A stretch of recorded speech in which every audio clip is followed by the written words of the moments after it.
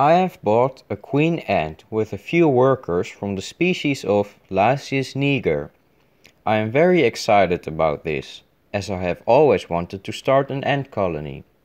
You may ask, well, why didn't you catch a queen? I'll tell you why, and the reason is pretty stupid. A few weeks ago, I saw hundreds of queen ants walking all over the place. At that time I thought, if I ever want to start a colony, then this is my chance. But I thought, well, maybe I'm not ready for it yet. So I decided not to catch one. About two weeks ago, I decided that I did want to start an ant colony.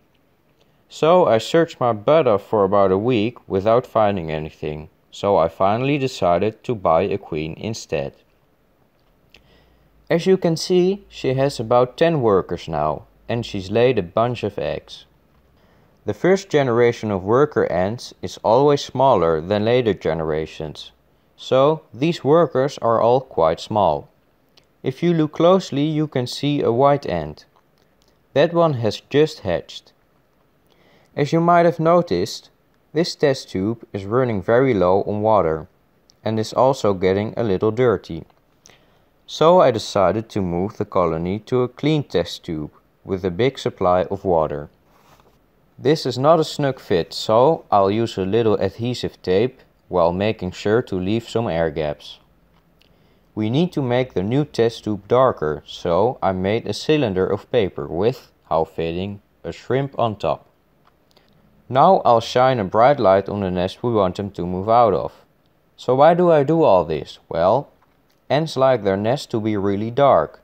So by offering a dark nest, while at the same time making their own nest very bright, they will automatically want to move. This can take quite a bit of time though. It took over 50 minutes for the first worker to even leave the original test tube. After a few hours, the queen decided to move which usually means the move is official. However, these workers didn't really seem to do their best to move the brood. In fact, this worker dragged a pupae from the new test tube into the old test tube, which I found very peculiar. After a few more hours, they really started to get going. After about 6 hours, there were only a few workers left with some eggs, larvae and pupae. So I upgraded to a very bright LED light to encourage them to move even more. Only one left. So it only took about 7 hours for this really small ant colony to move 10 centimeters. As a reward for their hard work, I am giving them a small drop of honey. One worker already found it.